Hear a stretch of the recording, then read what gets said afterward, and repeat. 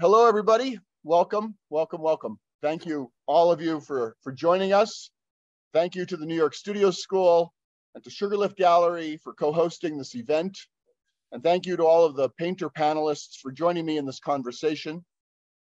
My name is Jordan Wolfson.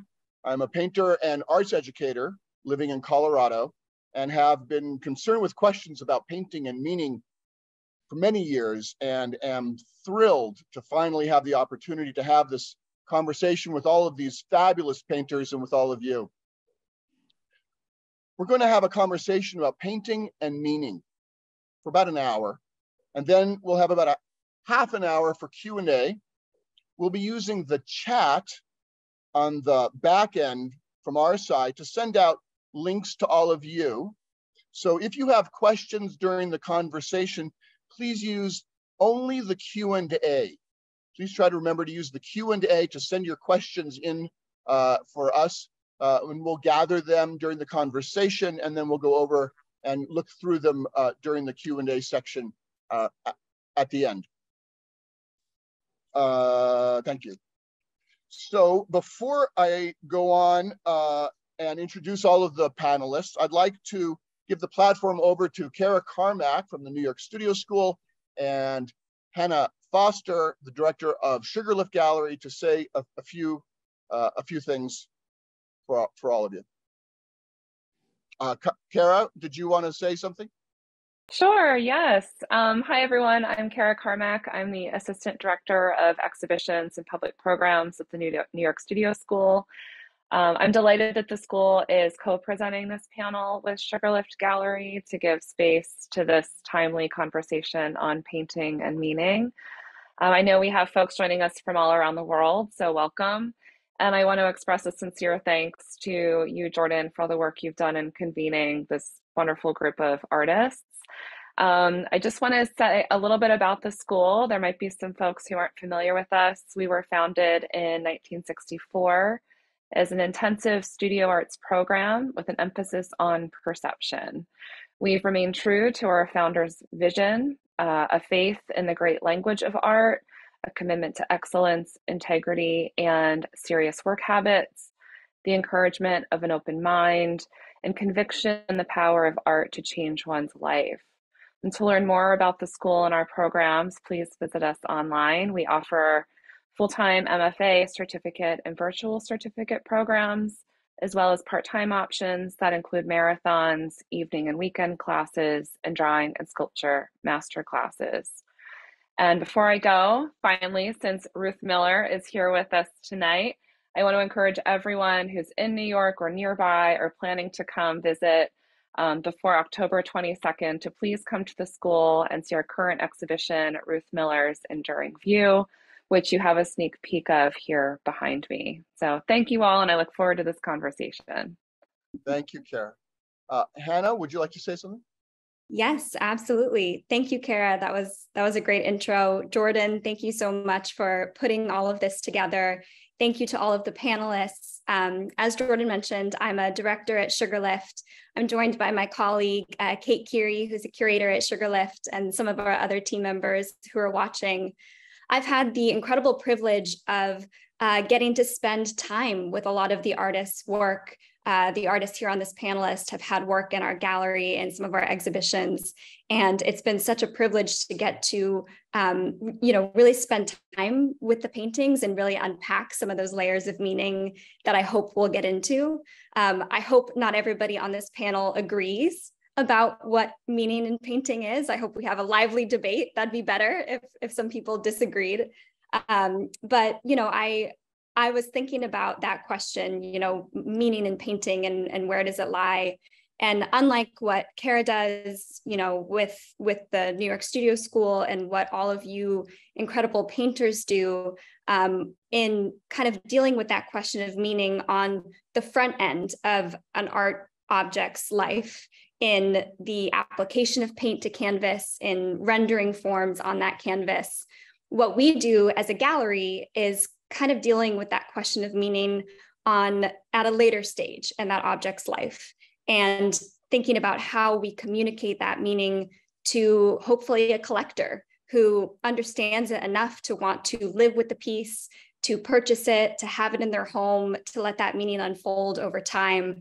Um, so, you know, I really feel that that our task as a gallery, maybe similarly to the task of a painter, is one of translation, translating that meaning to others, helping communicate it, helping facilitate that um, that uh, transition from artist hand to canvas to collector. So I'm excited to hear about what that translation means uh, for the artists when it comes to uh, perception and, and putting it into paint. Wonderful, thank you. So, thank you, uh, everybody. And uh, I'd like to briefly introduce uh, everyone on the panel before we uh, before I introduce a, a, bit more about the topic and we move into it. Uh, Ruth Miller, uh, born in 1930, a painter of still life and landscape, lives and works in Washington Depot, Connecticut. Although working occasionally from memory, the artist paints mostly from observation. For her, no two cabbages, no two pictures are alike. Each object has its unique and formal presence with attention paid to the way forms press against each other and shape the space around them. Miller studied at the University of Missouri and the Art Students League in New York City, but it was within the charged atmosphere of 10th Street in New York City in the 50s that Miller formed her lasting commitment to painting. Miller is a member of the National Academy, Academy of Design and has most recently shown at John Davis Gallery Lohin Geduld Gallery, and the American Academy of Arts and Letters.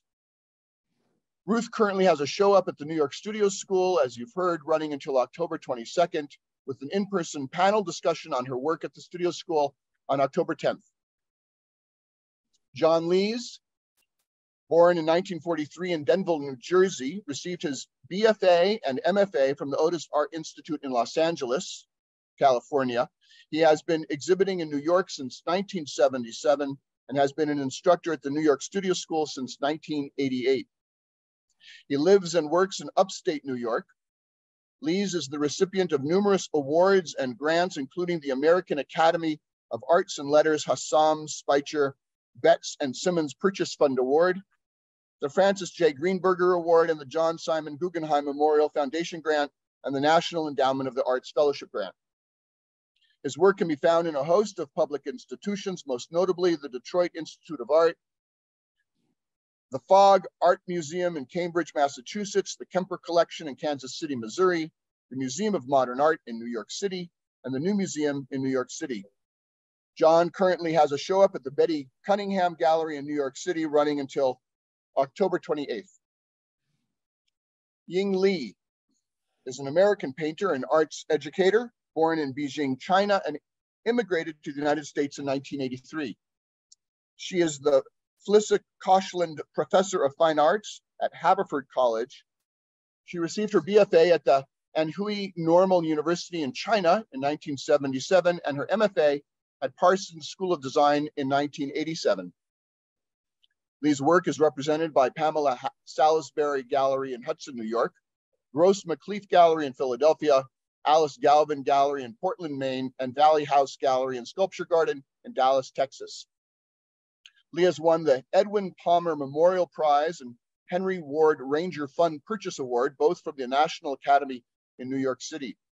Li's work has been reviewed in the New York Times, the New Yorker, Art Forum, Art in America, New York Sun, the Philadelphia Inquirer, Hyperallergic, Art Critical, and the Washington Post, among others. Ying has two solo shows coming up, one at the New Art Dealers Alliance in New York City, organized by Alice Gauvin Gallery, opening January 5th and running until Feb February 2nd, and one at the Eleanor Wilson Museum at Hollins University, opening on February 1st and running until April 14th. Eric Elliott completed his MFA in painting and drawing at the University of Washington in Seattle and his undergraduate work in painting at the University of California, Berkeley. He took part in a year-long artist residency at the Jerusalem Studio School in Israel in 2014. He was the 2009 recipient of the Behnke Foundation's Neddy Artist Fellowship. Was in the 2009 Northwest Biennial at the Tacoma Art Museum and received the Seattle Art Museum's Kayla Skinner Special Recognition Award. Eric Elliott currently lives in Colorado, where he works as an associate professor of painting and drawing and is the art and design department head at Colorado Mesa University. Clintel Steed, born in 1977 in Salt Lake City, Utah, received his BFA from the School of Art Institute of Chicago and his MFA from Indiana University and completed advanced studies at the New York Studio School of Drawing, Painting, and Sculpture. His work has been featured in numerous solo and group exhibitions, most recently Clintel Steed and Dimian at Steven Harvey Fine Arts Project in New York City. Emoji Show at Klaus von Nichtssagend, New York, and So Much So Little All at Once at Regina Rex, New York City, among others. He is the recipient of the John Koch Award from the National Academy of Arts and Letters, and recent press includes Hyperallergic, Art Critical, and the New York Sun. Steed lives and works in New York City. Zoey Frank, born in 1987 in Boulder, Colorado, makes use of patterns and elements of abstraction in her large scale, multi figure compositions. Her work draws on a wide range of approaches to pictorial space from across art history. Frank studied for four years with Juliet Aristides in the Classical Atelier at Gage Academy of Art in Seattle before receiving her MFA in painting from Laguna College of Art and Design in California. She has received numerous awards and honors, including three Elizabeth Greenshields grants, the Avigdor Arikha Memorial International Residency Scholarship, and three first place awards in Manifest Gallery's International Painting Annual. Her work has been featured recently in New American Paintings, High Fructose Magazine, Fine Art, Fine Art Connoisseur, Artists and Illustrators, and American Art Collector, among many others. In 2023, she served as a juror for the Bennett Prize and for the Figurativas Award at the MEAM Museum in Barcelona. She is represented by Sugarlift Gallery in New York and Gallery Mokum in Amsterdam.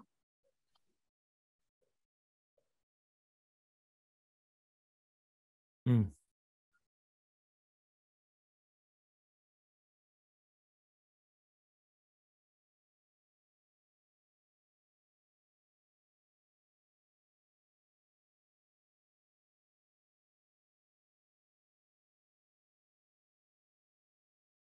Some years ago, I was reading an article, I think it was an Art, Art in America, or maybe it was Art Forum, about art education in this country. I remember Howard Singerman was one of the contributors, currently chair of the Department of Art and Art History at Hunter College. At the time, I believe he was in Virginia. And he was talking about a split in our art education, that there were the programs for skill development that gave students the ability to technically make stuff well and have formal ease with the materials. And you could get that kind of education at the state universities and community colleges. Skills like how to draw realistically, that sort of thing. And then there was a more art world directed education, learning how to think and talk about art in a more conceptually and culturally sophisticated way. And for this, a student needed to go to a more elite and expensive school like Yale or RISD or Columbia but one wouldn't necessarily learn formal skills there. They expected you would be able to take care of that yourself. And the more local colleges weren't investing in future art stars with a lot of art theory courses. This was a description of a split in our art education between the making and the meaning, which makes sense because our educational institutions are functioning within the larger culture. And our larger culture suffers from an ongoing split that goes back hundreds, if not thousands of years. Mind and body, making and meaning, thinking and feeling. And generally speaking, meaning in our world is assumed to be conceptually based. But for painters, living our lives through the wielding, the picking up and putting down of paint. Meaning is a felt experience and one grounded in making. This was one of the great and exhilarating adventures of modernity.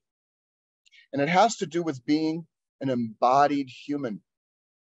And this is also one of the great and valuable things about places like the New York Studio School, where meaning is still found and grounded in the making. And it's also one of the valuable things about places like the Sugarlift Gallery that has a clear intention of helping painters do exactly that make a living so they can make their work. So I wanted to have a conversation today about all of that with other painters who all paint in quite different ways, all representational for the sake of this conversation, but all finding their own unique ways of putting a painting together and finding their own paths of meaning. And I wanted to bring this conversation to people, all of you, folks who not only care about painting, but also folks who are learning to paint, to strengthen those ambitions and deeper possibilities for felt meaning. In preparation for this conversation, I asked each of the panelists to mull over a few short questions in relation to their painting practice. And then we gathered those thoughts together, or somewhere. Uh, we had a few, uh, uh, few other things like a, a link to a song. We had a poem. We had all kinds of wonderful responses. And then we sent that back out to all of us so that we could get a sense of where we were all coming from. So we're going to start with uh, each of the panelists uh, speaking uh, out of their own experience, their you know their sense of of painting and meaning, and then we're going to open it up for all of us uh, on the panel to ask questions of each other and open it just to to, to a to a, a, a conversation together. And uh, and then after we we go through that, please feel free during that to send your questions into the Q and A, and then we will uh, look and start going through those and uh, and field that afterwards. So we'll start. Um, one one last thing I'd like I, I would like to mention before um, getting into it is uh, that one of the things that was important to me in in gathering uh, all of these wonderful painters together is that we've got at least three generations here. And uh, that's a, that there's something about a lineage. There's something about a story uh, a larger project. And uh, so I'm, I'm i'm very grateful that we have the the, the span that we have. And uh, i'd like to start with with ruth. Uh, if you could uh, perhaps uh, say a few words what you think what comes to mind when you are thinking about painting and meaning. All right, Jordan, I will start with pretty much what I sent to you. That I find meaning in the making of my work, creating it, bringing meaning and paint into actual, actual life, to a parallel to actual life. That may sound vague, what do you mean by actual life, a parallel to actual life? Well, I feel that that you know you're working on a two-dimensional surface, and that I I want to have the work stand up to actual life, but it's different. And that's what I mean by that. And then I paint the things, the objects and trees and fruits, the vegetables, that I love looking at and that I have around me and that I become familiar with. And, and uh, as I look and work on them, I hope that a, well, a dialogue opens up. And that takes me further and deeper into the work.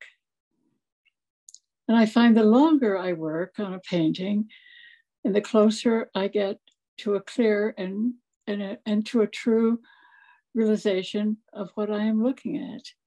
And it's more about even seeing. It's about seeing. And the way I use paint is, I think, inseparable from the meaning. Oh, that's my desire. I don't know if I'll ever achieve that, uh, but that is what I hope most for. So, okay. Thank you. So we'll, we'll come back to that. I'd like to, we're going to take time. Uh, I'd like to go through everyone, but I mean, I have lots of thoughts that I wanted to ask you, but I'll, I'm going to hold off on that. And um, uh, John, would you hmm. uh, care to say something? Okay, I, I haven't, um, I, I, I didn't plan anything. Um, I did, I wanted to uh, speak kind of um, spontaneously. Mm-hmm. Um, I, I I think maybe one of the things, the thing I did think about a lot, or or I think about all the time, mm. is that uh, it's very hard for me to separate my life from from my artwork. Uh, I I, I, I include the practice of drawing, and I started doing this probably around the age of seven. And, and my family moved around the country a lot. And I was, um, um, well, I'm an only child. I'll try not to start every sentence with the word I, but it's not very easy. but so I was I was by myself a lot for a long time. You know, I'd come and be a kind of a new kid in school like that. So I kind of um, got in the habit of doing things in my room a lot. And um, it, it seemed to always, no matter what it was, it always came down to drawing and painting in different ways watercolor, poster paint. I started with oils a little later. Um, and um, so it, it's it's just become this activity that that I I do in my room all the time. Jake Berthot said that I'm a high school bedroom painter. now, now, some people said, don't ever let anybody hear you say that. Um, but that's sort of the, the, the way it is. And I think the other thing that that I wanted to, to, to, talk about just very briefly is why I spend so much time on paintings, on individual paintings. Um, I think about it about if you look at periods of your life, either as a human or as an artist, you might go and think, I wish I hadn't done that. I wish I hadn't behaved that way. I, I wish I had been different. And I think that the same with with my paintings. There were certain themes that were very important to me. And i just didn't get them right. They were too important to abandon. I mean i thought 3 years was working a long time and you know i always thought of jay defeo working for seven years on the rose i mean that, she was kind of like an idol of mine in that way and um, I just re- I it took me longer than seven years. I mean, I have paintings, you know, that that you know, like one, you know, twenty years. I have one painting I finished that took me forty years. I mean, it's it's that I need to do it better. I need to do it better. You know, that wasn't good enough for the the paintings I was making about Otis Art Institute, which I don't call that anymore. I call them courtyards. But but um, I went through a period in the 80s when I was think I was in my 40s when I, where I started listening to music that that that I on uh, nostalgia rock radio, which was not music I listened to. I listened more to jazz, but I started hearing things from the 60s, from the time that I was in art school. And I literally got this cold rush up my spine. And I only wanted to reduplicate that, I wanted to duplicate that feeling. So I started with these themes. And it turned out it took me 20 years, 30 years to finish them. It was no, I paint fast. I, I am not a, a, realist painter. I don't like I heard once John Moore was talked to about, you know, he said th- that he had, oh, a great day today. If I painted four bricks. You know, I don't paint like that. I paint like this. I might the, the one the the painter that was the most important to me with that just set my whole course was Georges Rouault, who was not spoken of much these days at all. But I just knew when I, I saw his work, and then later other people too, Red Grooms, German Expressionism, Milton Resnick, certainly Frank Auerbach, um, influenced me a lot. I mean, I can't even begin to say how many. And um, where was I? Where am I? I'm 80 years old, you know. I, it's my immaturity. People don't think that I'm really 80 years old, but I am. And so I paint fast, but over long periods on a given on a given painting, over very long periods. And I have them out and they they tell me, you know, you can work on this. You might be able to finish this for this show. Well, I could just keep talking. Okay. Well, thank you. You know, like, like that um, wonderful. You know, it, it and Joe. Okay, I, I'm going to stop. we'll come back to it. We'll come back to it. Thank you. Okay. Uh, Ying. I I just wanted to follow what John said. You know, it's a uh, the meaning is so much to do with the personal experience and also you know has different meaning in different time in my life uh, you know you think about basically you know we all we all paint, you know, we all put paint on this 2D surface. You know, to me, that is uh, so complicated. And uh, that's that's the meaning why we're doing this. You know, they sort of like enough, you know, just to to get going. And in the personal level, you know, I uh, I was born in China and uh, had my early education uh, under communist regime. And uh, so I was taught, I was, you know, taught and told uh, the meaning of mar, uh, the meaning of art is really serve the revolution. You know, it's uh, it's all about you know political right. And so when i you know when i got chance to come here the first thing i want to get rid of is that part. And uh, so you know i would do anything in my work not to go there. You know that's a, that's sort of my determination and uh, as you know, as I grew older, and uh, I started to look back and to see things, you know, see the connection and see how things interact. And, uh,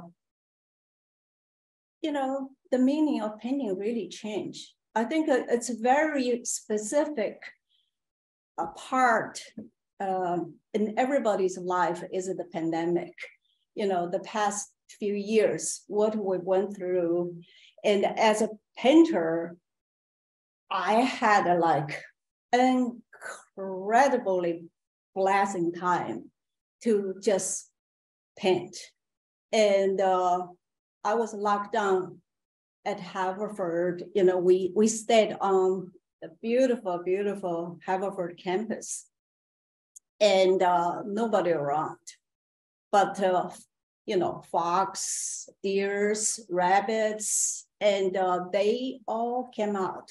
and the nature is just uh, like uh, it's it's it's just incredible. It's like a burst of energy without uh, humans interference, and so I, you know, I just painted. I dragged my stuff here there, and I got to paint some bigger canvas, which I couldn't do uh, before, uh, and uh, I never thought about the meaning of it.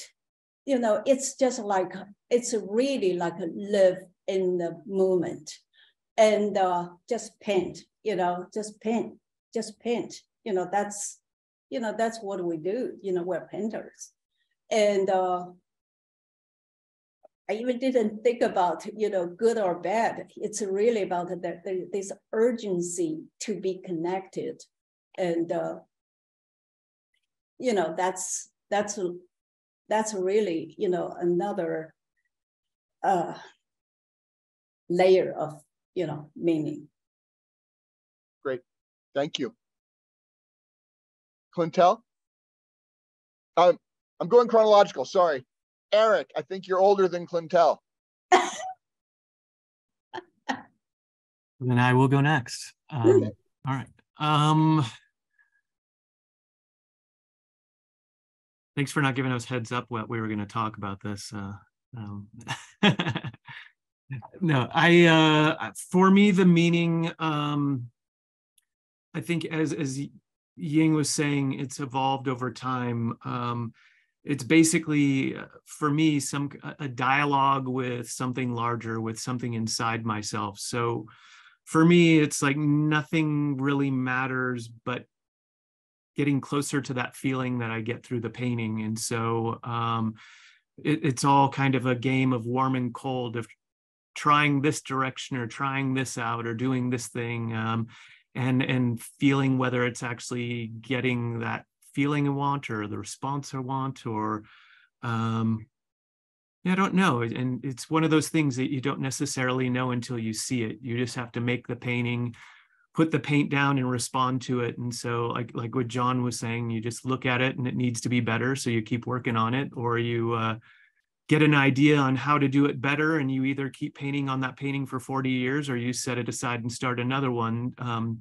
doing the different idea so so for me sometimes i'll get that idea on a, on a different um, direction to chase. So instead of doing it in that painting and seeing if maybe that's the way or the other way is the way i'll just start the exact same still life in a different way. So often i have uh, different iterations of the same still life. Um, i think i did 25 paintings of one cup because i just couldn't stop thinking of different ways to try and paint the cup. And it was also fun to see like one painting next to another that you thought were so different and then once they were next to each other they looked the same. Um, so you're like okay that didn't do anything. Or you'd start in a totally different way thinking it was going to change something and it would be exactly the same um, you know to, by the end. So it, you know really getting to know the process and and all of that but it's yeah it's this chase um trying to really find the the the presence, the life, the I don't know what it is in the painting. You're trying to bring it to life. You're trying to um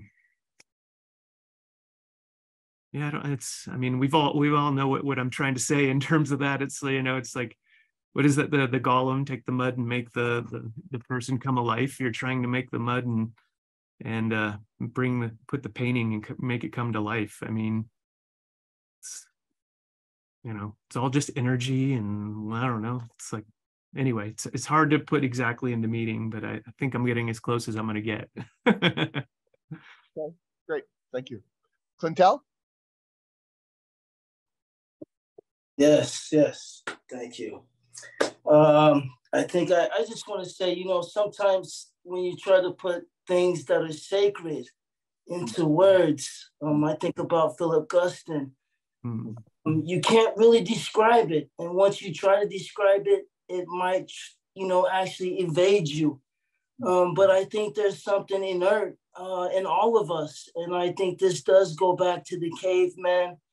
Um, I think it goes back to some of my teachers. Um, and, and it goes back to my life. being transformed and and and uh, by this experience um, to want to to create to make um, to use your hand to translate. Um, so and i think all of us here i was thinking about this moment. One of the things that i think you know i was thinking about certain things things fall out of flavor you know things but i think this moment tells of that power of that we still need to create, we still need to see, we still need to record. Um, and so, and we don't, you know, like I said, I go all the way back to the beginning of time, um, back to the caveman. I, I, as everybody's talking, I imagine that caveman or woman for the very first time dipping their hand in mud or whatever it was and recording themselves recording their experience. And I just want to say this. So I know that many things, I think I'm a part of a tradition. Um, and I'm honored to be here in this phone call with these people. You, Jordan, I don't know if people have saw Jordan. I think if you see Jordan on Instagram painting, that could probably say enough of what the experience of painting is. I mean, I didn't know Jordan. I didn't know I would end up in this conversation with Jordan, but I've seen Jordan numerous times painting. And I tell you guys, wow, that is what it's about. And I don't know if many words could ever describe that experience. Amen. Zoey? Let's see. I think um, I guess I, I'm uh, uh, like all of these other other painters. I think I'm finding the meaning in the making of the painting primarily, um, and I'm painting um, kind of the things that are around me, like Ruth was saying, things that I, my family and friends, and the objects that I'm encountering every day. Um, here's my parents at the kitchen table, um, and um, I, I, think that there's something that feels really kind of um, important about giving that kind of care and attention to these really mundane everyday moments. Um, so the, so the, the meaning feels like there's a little bit of it there, um, but in a way that, that actually feels secondary to the kind of formal aspects of actually just being in the painting and making the painting um, and choosing these more kind of simple everyday things that I'm familiar with um, allows them to be less kind of, you know, charged with with with so you know since they're not carrying so much meaning i'm able to kind of focus on the painting itself. Um, so if i'm painting just a sandwich it's just a sandwich and i can really focus on like how do i how do i make this into a painting? Because um, i'm not like saying something political or you know sophisticated through the sandwich itself you know? Um, and i think that that um, when i'm painting when i'm engaged in the painting i feel really alive and activated and it's balancing like trying to balance the composition trying to find shapes that create like that hold the space but create tension um, trying to find color relationships that are that vibrate and are complicated. Um, playing between abstraction and representation. And, you know in this painting trying to have these parts that are are really fully realized and parts that are just gesturally placed in um, kind of versions of that same that same motif um, the tension between the kind of motif that I'm looking at and the historical references that I'm thinking about as I'm approaching the motif. They feel like all of these kind of um, kind of tensions that I'm that I'm like struggling with and trying to balance as I'm making a painting. And that struggle and um, pull between that kind of tightrope juggling match that I'm doing um, feels incredibly alive and engaged. Um, and as Jordan talks about, I think I'm like hoping that some of that aliveness that energy gets kind of embodied into the into the painting itself and can kind of emanate it back in some way to the viewer um, but that it's that kind of engagement um, of trying to make a painting that feels um, really meaningful to be to be doing every day. Mm-hmm. Um, and i feel just so lucky to get to have that to do it kind of it's like the kind of centering part of um, kind of you know organizing principle of my life in a certain way so thank you. Wonderful. It's uh, wonderful hearing everyone's thoughts and feeling into it. And um, I, I'd like to open it up if you have uh, questions for each other or thoughts of, in response to each other's work or the things that people sent back in and what we you know passed out. uh, if anyone has any uh, or anything else to say. Just opening it up. Yes, Ying, you, Could I, had, could I open it up sure, please, Ruth, go ahead. Okay. This, this, I, I, I was thinking about what John was saying. And uh, I, I know, John, that you say, and I, I know that your work, your paintings take years, sometimes 30 years. And, and yet to me, they seem, they seem very immediate and, and they're startling present. They have such a presence and they're there for us, even though they're layers and layers of paint and of work and of time. And I think I think they're timeless. There's something about them that is timeless, but they also are very much in time. And I want to ask I want to ask you about this dialogue that you have through all these years, the dialogue you have in paint with time, the, the past and the present. Is that the meaning that you are seeking? That, I mean, that's a very, for me, when I look at your painting, that's a very, very deep and strong meaning, and it's mysterious. I, I think the question is muddled, but can you answer it, John? Um, I mean, your relationship to time. I mean, it's there. I mean, well, I mean, I don't. Maybe we shouldn't even talk about it because it's so mysterious and it's so important in your work. Well, I do have a special relationship with time. Um, um, I have a very curious kind of memory. I I can't tell my memory what to do, but um, I can probably place any event of my life down to about a two month period.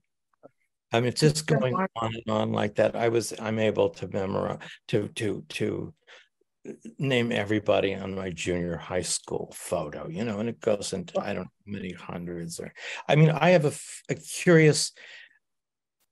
Uh, I feel sometimes like I have a I'm a time hawk. I can go back into time and, and I think about the feelings about being able to do that. Um, I I I don't and and maybe maybe somehow that these paintings take so long hooks up with that in some way, but it's not a way I'm aware of, really. I mean, of course, I start thinking about these after I say it. I've, I mean, I'll, I'll be thinking about the way I answered this question, you know. I, I just want to say, I think that's what's beautiful about the experience as a painter. You know, I think John working on those pieces for 30 years, 10 years, and it being that, you know, that's why you can't put painting into a box. You know, it's it's something different for all of us. And we all have to sort of find a way to that truth. Um, and when you see a person like John sitting here with us saying, wow, you know, just spending time with him as the painter, um, it's really beautiful that they reflect on this image that's on the screen and know that, oh, this portrait just didn't happen. It took 10 years of me going back again and again with whoever this person may be. Um, and John, I'm sorry, I don't mean to speak out of term. Anybody, I just. I'm I'm glad you. I'm glad you. You. I, yes, so um, that's beautifully said. Yes. Beautifully said. Yes. And it's a conversation. So yes. But I say something more. I mean, since you put sure. up the picture, yeah. I mean, yes. I, I mean, um, I'm playing out a lot of fantasies in painting like this. Now, I have a lot of fan. I, I, you know, certain with art history. You know, for a while I was painting with this uh, very old limited palette. Um, so I, I start thinking about older painting. I mean, I love Pompeii and the Pompeii. I'm also, you, know, you can look at this. I'm a frustrated sculptor. I'm I'm I'm clearly a frustrated sculptor, and and um, I'm uh, playing. I think like what- You what you said, Clintel, about the material, about mud.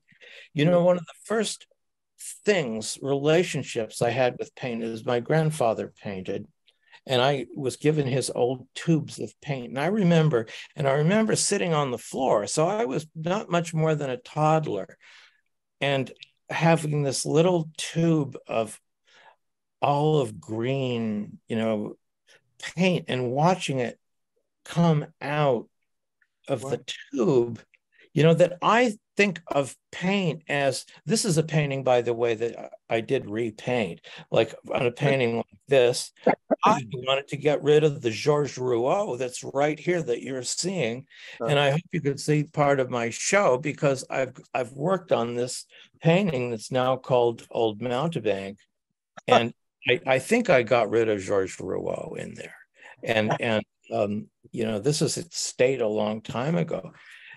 I mean, I have to play these things. I'm also playing out um, a fantasy that I'm a musician, that I'm playing a tenor saxophone, that I'm Ben Webster, that I play with a very full tone, a very big tone. I'm playing all these fantasies out in painting because it seems it's the one thing I can do. It's the one thing I can focus on. I mean, like I said, I I, I mean, I love the, I love reason, the, It's the I one love thing. reason I was able to stick with it. For some reason, I was able to stick with one thing. You Yeah. know, like in that movie Akira Yeah. Kurosawa- Okay, I'm I could just ramble. Ying. You know, we talk about, uh, you know, stick with penny. Actually, uh, I just wanted to tell you, you know, when I walk into your show, and actually, by the way, now there are two knockout shows. Of course, there are others, but these two shows just hit me right on my heart. One is Ruth Miller Studio School. One is John at uh, Betty and uh, they're totally different, but they're both so full of surprise and the mystery. You know, uh, uh, you know, because we're talking about John's work, so I just wanted to say, when I walk in your into your show, you know, each painting is totally by its own.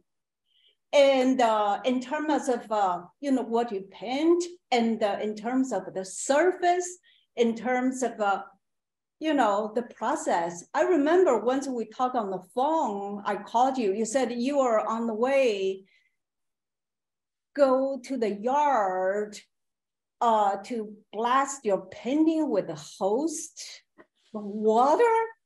I said what? I thought i heard wrong. But he said no, i've been doing No, oh yeah, I can go. Well, well, I go to different levels of the painting. yeah so i thought that's really you know the way to do it. You just like you really invent your process your way to make these paintings. You know i i think you know you can put you in certain style you know but each painting just has its own life its own sort of a you know process of you know birth. And you just like you you you invent the process you know for each painting you know i thought that that's really something Well, Ying, I'll tell just you, thought I'm, I'm let me- blown let me- away tonight. Let me say this, Gonzalo. I wanted to add, but I've I've been blown away tonight watching everybody's painting, looking at them, you know, especially thinking things like that person looks like they know what they're doing. I don't know what I'm doing. I You think know, I we mean, you know, all, I'm, we I'm all really blown away with, with all these every paintings. day. that- everybody's paintings. I've um I just don't like using the word. I don't like So- using the word humble because I start sensing insincerity when. I mean, I've been feeling that way tonight, looking at all your, work, frankly. That's beautiful. But I just want to say this. I'm sorry. I think talking about Rouault tonight is very special for me because I know sometimes as painters, you know, we talk about this person, we talk about that person, and there's some people like Rouault who did things with material, subject matter that need mm. to be celebrated. So thank you for that, John. Yeah. I think he's a really underrated painter. Can you even have Dubuffet without Rouault? Can No. you Oh, have yeah. Oh, that- Roy? Can you have Milton Resnick? I keep thinking Milton Resnick's painting what's in between the black lines in a Rouault. Wow. You know, You I know, mean, I didn't. and you have Leland Bell, maybe Leland Bell. Yeah, exactly. I didn't. I got no know Ross' work from Leland. You know, he he, uh, yeah. he was my teacher, and he's really Yes. opened so many doors. Yes, And uh, yes. he, you know, I I I remember.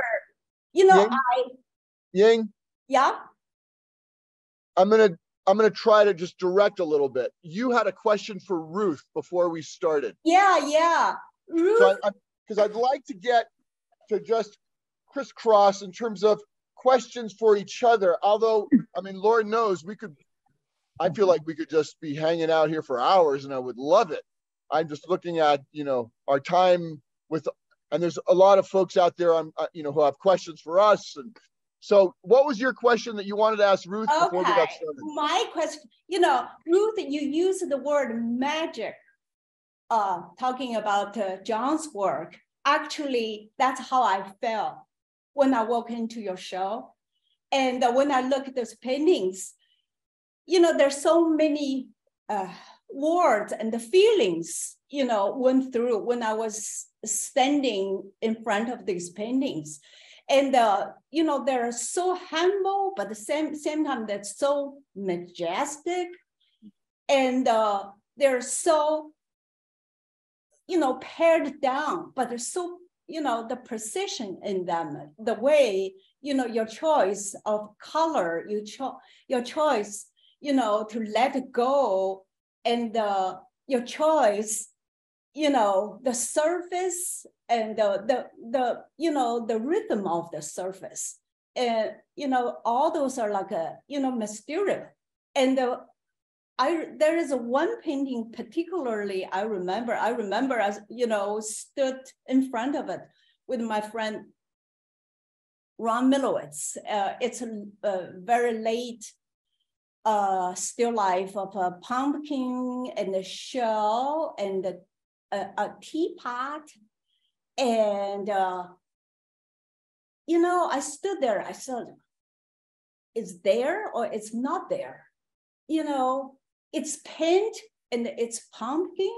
I said, how she turned the paint into pumpkin. You know, it's just like a, the you know, the touch and the, the abstraction and the, with the, the image, you know, they all exist the same time. You know, I just wanted to hear a little more about you talk about, you know, how you make your decisions and where to go and, uh, you know, how you, you know, just like a hover between the abstraction and the image. Ying. yeah. Here. I'm here. I am absolutely stunned by by your observation. It's uh, it's very close to my own my own kind of way I find the painting of uh, you know discover what I want to do in it.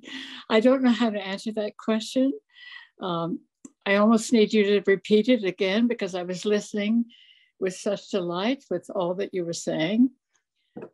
Uh, it's it's a very it's a very difficult question to answer because when you're working and, and you're involved in your work, you're not thinking of of why you've chosen or how you somehow have Mm. become involved with this with with these particular images can you t- can you Ruth, can I say something? I, I just want to you- say, like, can you phrase again the uh, end of end of your uh, yeah. Can you, it's against you know, because I'm just I'm so stunned by, you know, the way you handle abstraction in the image, and uh, and your uh, your you know your your touch, your paint work. You know, maybe I shouldn't you know ask this because you know it's it's all in the painting uh you know i just wonder if uh, you know you think about these and uh of course you know you or it's just instinct you know I, I think it's, it's intuitive it's instinct of course and that's a very strong element in your work as you know i uh i i feel that describing describing the objects is not what it's about. I want to push into a much deeper or or or, or very kind of different relationship to the work. And so I don't know if that's a way of pushing it toward abstraction.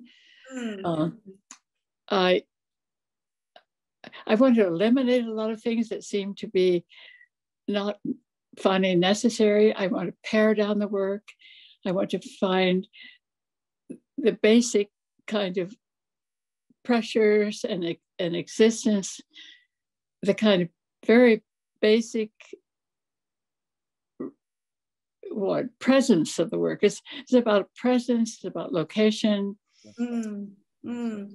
And finally, some of the things that anything that describes the work begins to take on a different a, a different a different meaning for me or, or different a different language. Mm. At the mm. same time, I'm very interested in the identities of these objects, and uh, I love them. I, I grow to love them as I as I work and and and, and look and funny seeing and looking becomes sort of an act of love and a connection. Okay. So I'm not, I don't want to obliterate or, or to lose that. So that's, I think, the tension in the work. Uh-huh. And probably what I have been trying to understand or explain to myself or to push further in all my 93 years. Is that an answer? Beautiful. Beautiful.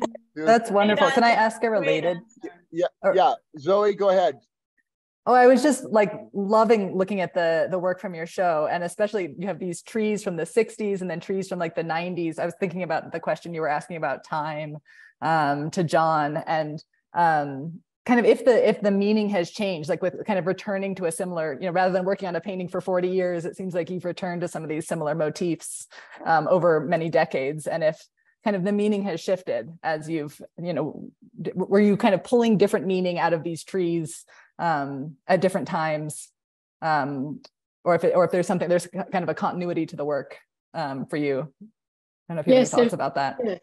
Yes, the continuity, of course, but yeah. but I, I'm glad you asked that question because I I don't know why I somehow the pro, the meaning this is what we're talking about tonight is is that I cannot find I cannot always I want to push the work further and further and I keep I keep I keep nothing tires for me. I mean, I could go on working on, on one motif or subject forever. What separates me from it is usually something in my life, like like um, having a move or having to, or well, actually, as as you can see, the fruit or the, or the objects because of their nature. Um, are transitory and they change and they and I have to replace them and but I I I could go on forever unless I'm somehow removed from from because of life circumstances with with these uh, with these objects and even the setup so that I may change the setup slightly. Mm-hmm. It's just a, a, a small change and that opens up a, a whole new adventure and world and uh, ruth when you say you're pushing it further what are you what are you pushing towards like that's a good question, Eric. Good question. Uh, I I know that you said something that I like very much in when I was reading your your you know looking through your work about about what something about the unconscious about how how your work you kept working until something opened up and and and you're unconscious. I can't remember the exact wording, but it it was wonderful, and I really really enjoyed reading that. But I I um, you know I, it's all about how long you're working on something, how how um,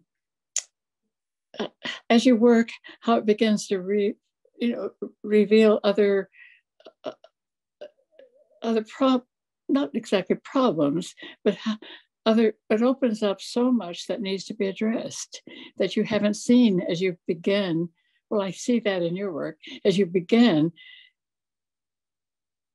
You things as you work as you continue working, things just begin to open up and open up, and and then you address those things. And uh, I think it's uh, that's why, as obviously, as with your work, I I st- I, st- I can stay with the motif for a long time, mm. and it's never exhausted. Mm. And uh, you keep hoping it will take you deeper into some understanding of it, or some mystery, or some way of approaching it, or getting it right, getting it right. And you just think, I, I just want to say I, I, I, wouldn't feel right if I didn't say that mystery of the mundane, the metaphor, the yeah. beauty of the metaphor. You yeah. know, the face takes on the soul. You know, the, the the the cantaloupe takes on the heart. You know, all these things. So what may seem be the gourd may seem to be something else. You know, so I love that variable. So everything is abstract in the end, right? I mean, yes, yes. abstractions. Everything's abstract. Yes, yes. you know. Yes. So, but this, but see, I love the painter's mind, and thank you for showing this because one of the things I love is the ability and that want, right, to go back again, look at it again, re-investigate again, re-look, re- just don't take anything for granted, big or the small right? Whether it be a tree or a cantaloupe. I love that. Thank you for that. Thank you, Clintel. Um, I'm, I'm, I'm, what, well, one sec. Um, oh, it feels like we've just uh, opened up this possibility and we could just keep going and going. And I'm, you know, can I say something? I just wanted to follow, uh, follow uh, what uh, Clintel said. Clintel okay. Was said everything is abstraction. Yeah, yes. I totally agree. But at the same time, that's that's just not enough. You know, because you see Ruth painting, also you see John's painting, you see everybody here. You know, they're very, very you know, specifically oh, rooted. Hold on a second. Yes, yes, yes. I just want to say one thing. I, I just did not say at. abstract though. I said there was the power also. So you have abstraction, you have mundane, and you also have the physical object, which becomes a metaphor for something else. So it's yeah. four tier, five tier. It gets into this. We could talk about all kind of things. So I, that's why I say don't put a name to anything. Yeah. What we feel is an experience. The, the, and in Ruth's paintings, we feel abstraction. But for me, I also feel a heartbeat, you know, and really? something else, a yeah. body laying onto another body, a, a body holding something. So I may see a cup with an apple, but that cup and apple is something else. It's a metaphor. So, yes. uh, so I never want to get lost in words, guys. Absolutely. True, true. and that's the problem of having a conversation. We are supposed to end that's in, in huh? about 20 minutes. Oh, good. Uh, Can we go have some dim sum? I would love to join you. I would love to join you. Um, before we open it up to hear what some of the questions from the uh, people who are viewing uh, might have for us, uh, does anyone have any anything they might want to ask uh, uh, about uh, uh, Clintel's process, Zoey's process, Eric's process, uh, Ying? I don't know if you sp spoke much about your pro. I mean, any. I see all these things I've seen today as music. This is visual. Hallelujah. Yeah. Yeah, that's the way I look at these things to me. Yeah. Yeah. You know, and and it's like when I go see a painting, I my nose is practically on it. It's like the touch, like somebody, a musician has a tone, we have a touch, you know, and it, it's physical presence, you know, Yes. just the, of the Yes. music, the visual music, Absolutely. you know. Yes. Yes. Beautiful. you know, John, we talk about music. Uh, Conrad has a question for you. My boyfriend, a jazz trombonist. You remember him? Do I remember him? I, I, I- I'm just concerned about the logistics, unfortunately. So I'm gonna. Does anyone have any questions for for Zoey or for Eric or for Clintel right now?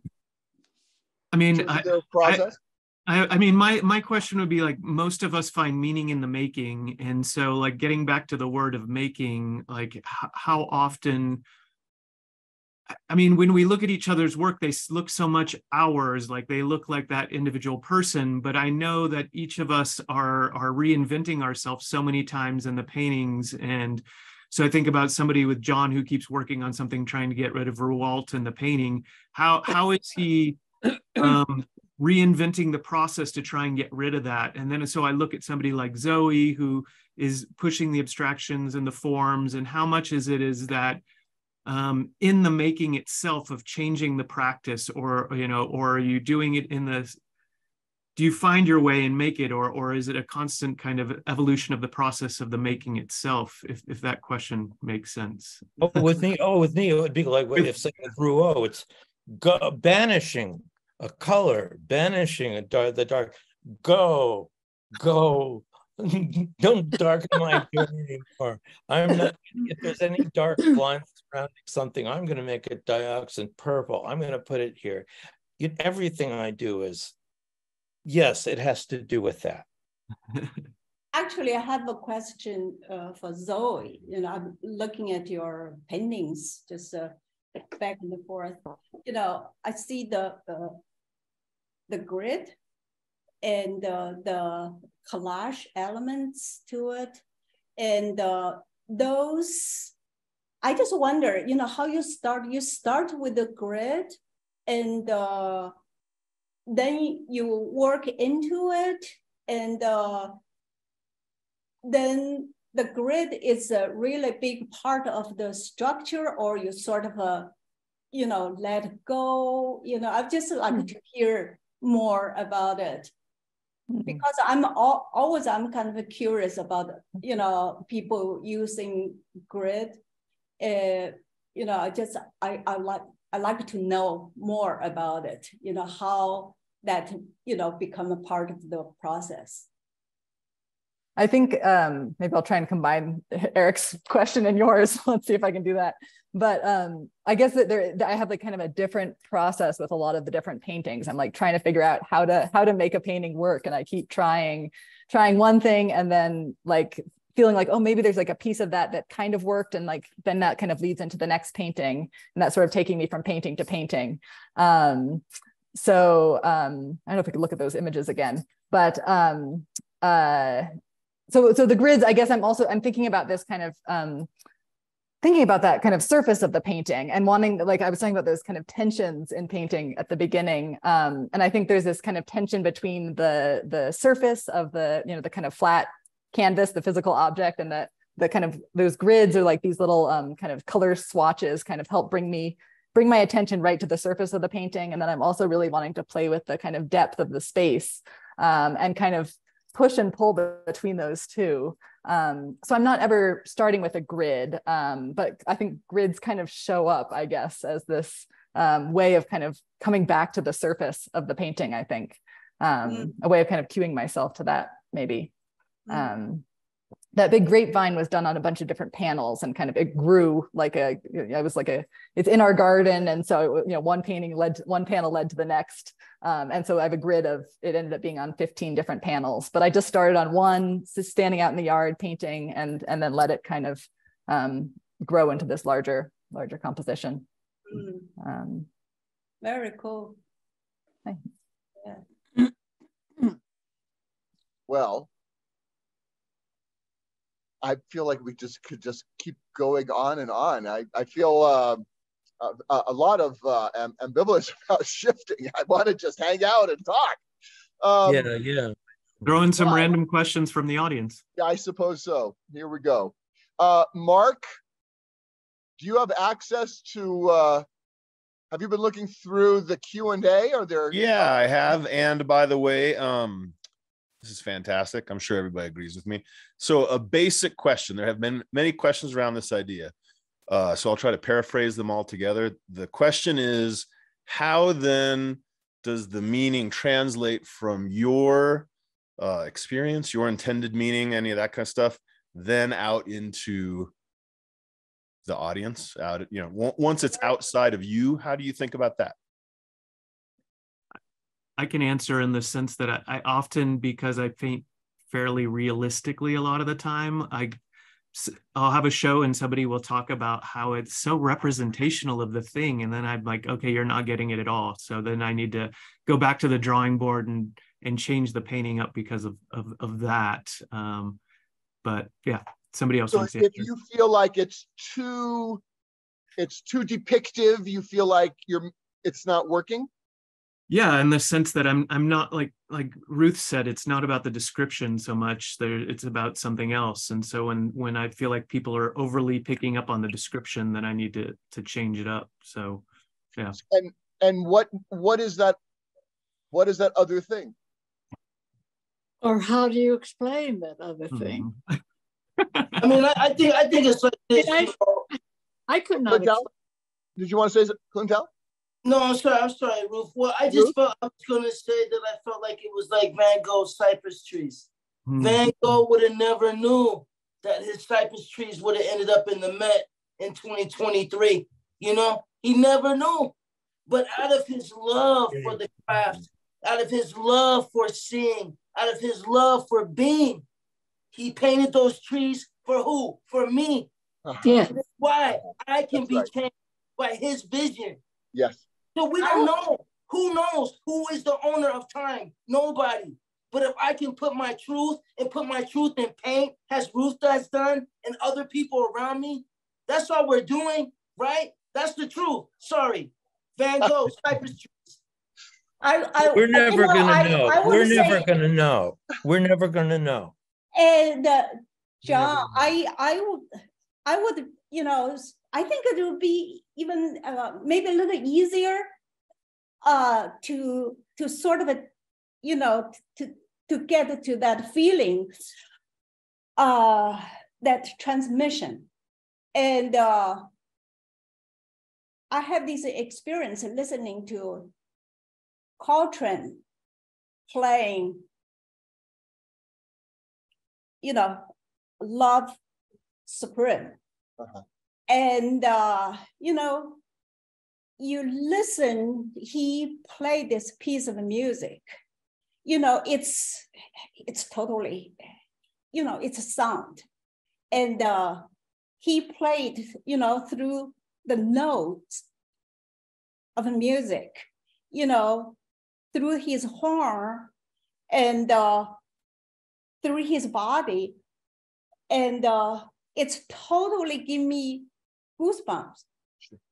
And it's like what John said before, you know, uh, you got this chill in your, you know, spine. And that's the same kind of uh, feeling I got when I stand in front of Colorado mountains and try to paint that thing.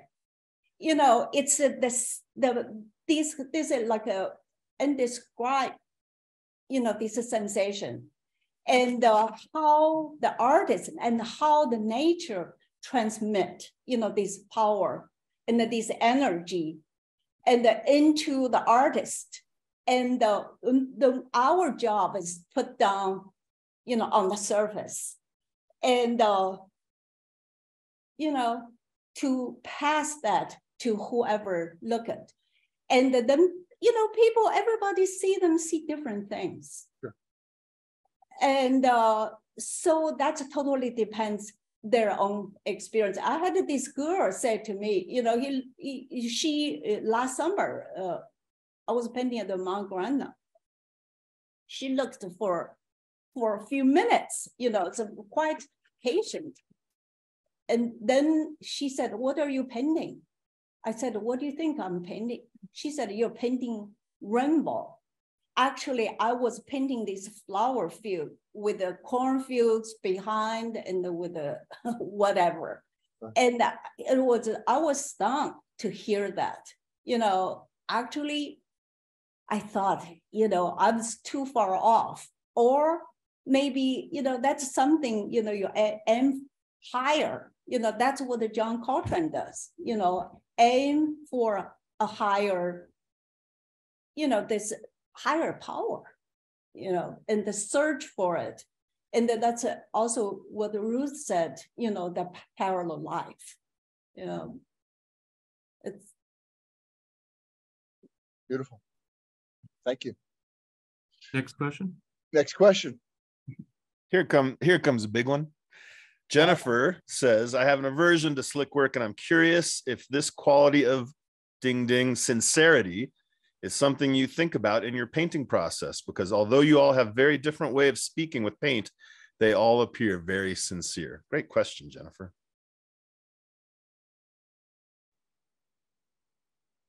I think um, when I was a younger painter, uh, you know, when I first started looking at paintings, I was so enamored by really slick painting. Like I like I went to a Sargent exhibition when I was in high school, and I was just like, oh my gosh, like boy, that guy could paint. Um, and then kind of later I've I've gotten much more interested in kind of these seeing these bits of the process and the struggle happening in a painting. Um, I think of like a Euan Uglow painting where you see all the little measurement tick marks where he's like obsessively measuring something for hours and hours and hours. And I'm just like falling in love with seeing that struggle, which seems really human and alive and vulnerable. Um, and um, I think I've become more interested in in these paintings that kind of reveal themselves over time in a more complex, uh, felt out way um, that are a little less, um, a little less slick and a little less, um, uh, you know, kind of virtuosic. Yeah. Zoey, somebody mentioned about your paintings in particular. I think this is a great way to say it. Uh, if you could say something about the fracturing, I think of all the paintings that are here, there's a very obvious kind of fracturing. Do you uh, tell us about if that's conscious? I mean, obviously it's conscious, but what that means for you. In the context of this kind of mark making there's a lot of mark making and building up. Yours seems to have a very fractured uh, surface. Yeah i think that that it's kind of, it's that play between abstraction and, and representation i think that i'm trying to struggle with and trying to figure out how to how to have both of those modes happen in a single painting. And i think maybe fracturing is one of the ways i've kind of explored that um, to kind of break up the the image so it's not just such a clean clear easy read um, kind of complicating it and putting other kind of layers of information into the image so it's you know kind of one of the paintings was you know inspired by um, you know, looking at a Piero della Francesca painting, and then I like put some of the bits of the robes of the figures from the original painting into my painting, and just kind of, yeah, that's this one. Um, so there's like little bits of Piero in there. Um so i think just trying to like get more into the images like trying to get all of the things that i want to have happen in these um kind of onto the surface um uh, can, can we, can we put zoey's uh piece of her parents up there really quickly? Because i just wanted to comment on what, some of this because i think sometimes if you can go back to the one of her parents that was you there is one of your parents right? Is this one is that the one of your parents? Yeah. You right so you're muted zoey yeah, you're muted, Zoey. Now I'm unmuted. yeah, yeah. That is your parents, right? Yeah. Um, so so this to me, there's something very powerful about that. Like Zoey has no idea that this painting may ultimately make me have a dream tonight. But there was a reason inside of her that said, I need to paint my parents with all the skill, with all the understanding that I have, with all the wisdom and knowledge. And that goes back to some of the questions that Ying Li's questions. What about the geometry and things of this nature? So all I say is sometimes, guys, the questions are not, is it good? The question is, what is my truth? And how can I get to my truth? And all to me, sorry, and again, I do not want to speak out of turn. All to me, this painting speaks of is a person who wants to make a painting of her life, of people that she loves, under the garment of all these things that we've talked about. But that leads us to this moment mm-hmm. fractured, green, whatever. Oh, green. How did you? Eh, so much of this painting is about you're being able to use that kind of what is it, Veronese green or sev green or you know these different to use those in a way that I feel I'm. It's mm. making me see it for the first time.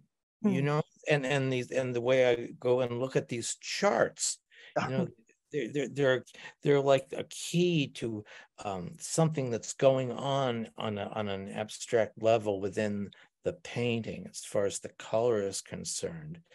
Um, yes. Look at that and see and see. Look at that. To me, I just want to say this mm. before it ends. That is the beauty of people trying to express their truth because from a human being trying to say how they feel about their life offers somebody else a clue to their own experience.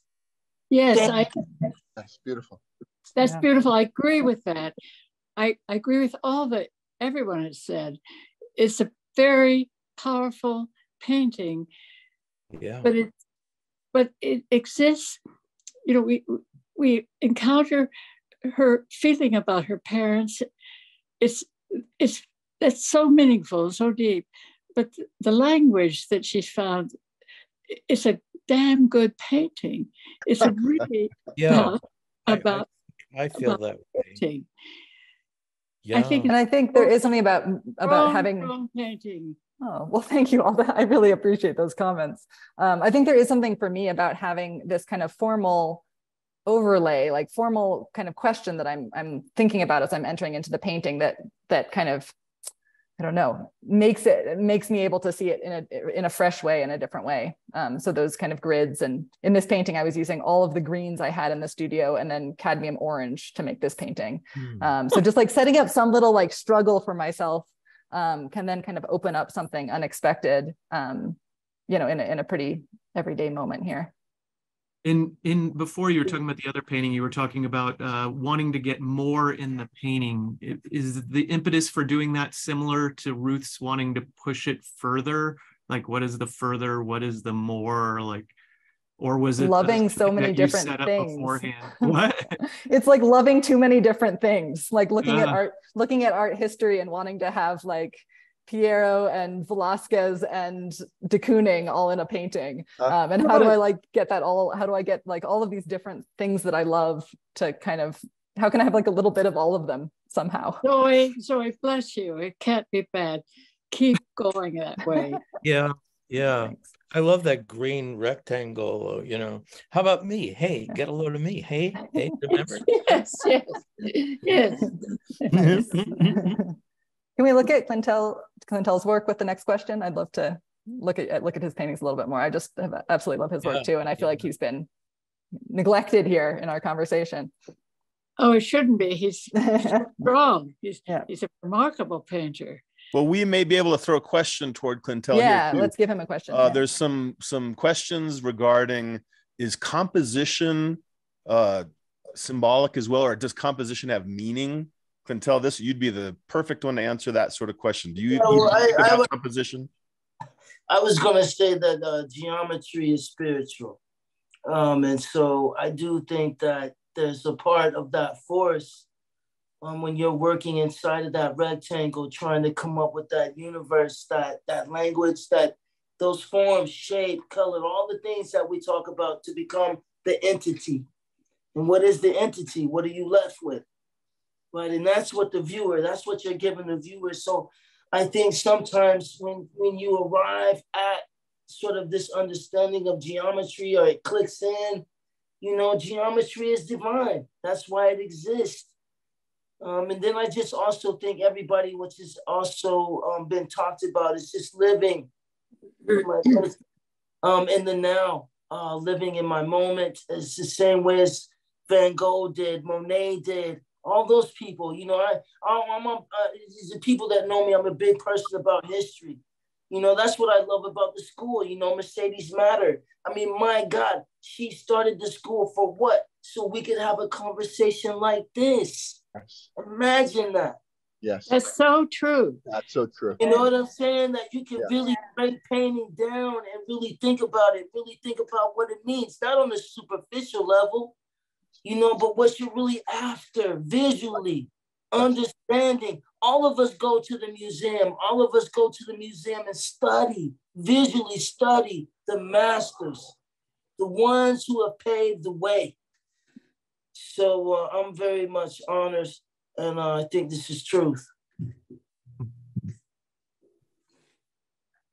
Love you, Clintel.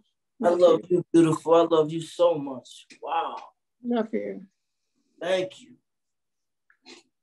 So I, I guess I'm curious, and Clintel, when you're doing those paintings, they they're so so spontaneous and loose feeling, and do you come with it with an idea in mind or they evolve over time? Um, are you building things in there? Like how, how are they built? I, I, I, I was honestly thinking this you know um, you know it, it's, it's interesting how you become an artist how you become a painter you know the people you meet and all these things and and and for me the it, it's almost like Ruth was saying everybody said it even you you know one thing is born out of another you never know right? I'm just moving, reaching.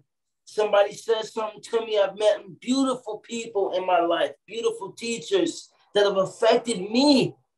That also I find to be very, you know, important in life to be affected by another human being, not with hate, but with love, and to also raise my consciousness.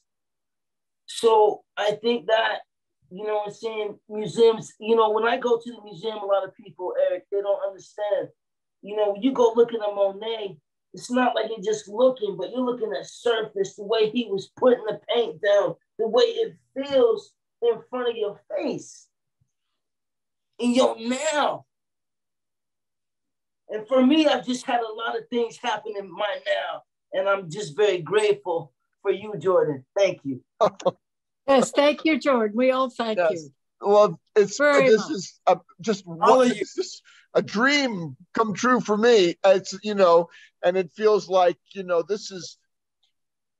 I'm I'm grateful for all of oh, there's an image. Okay, so um, you know that we are able to have this conversation. I mean, I've got you know what I could say about the problems of technology, but this aspect of it and that we're able to have a real conversation together and we're all over the place that's just fantastic and uh, you know it just feels like this is um, this needed to happen and i and i and i sure hope we we can you know do it again and um, uh, you know it's just just important um, we are we are needing to wrap up so um, uh, I, I, do have a few things just that I'd like to say um, uh, as we wrap up. I mean, I, I want people to know that this, I believe, has been recorded.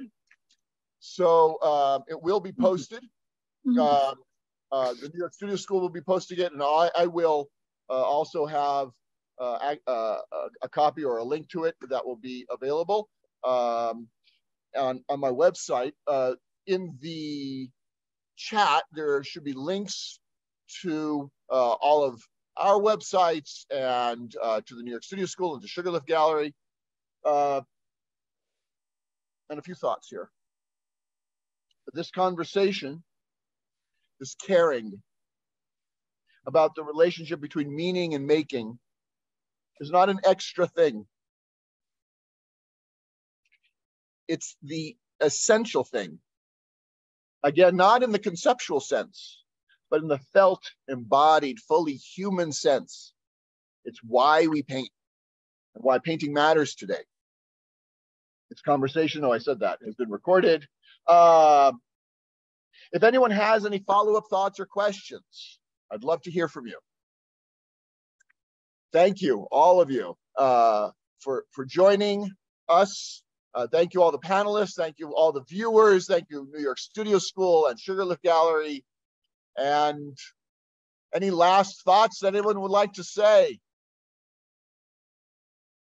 Did any of you, did it, did many of you go through a problem see, when you were uh, in art school when people were telling you in the say in the late 60s or the 70s that if you choose to be a painter you'll never be anything but a hopeless anachronism Oh, yes.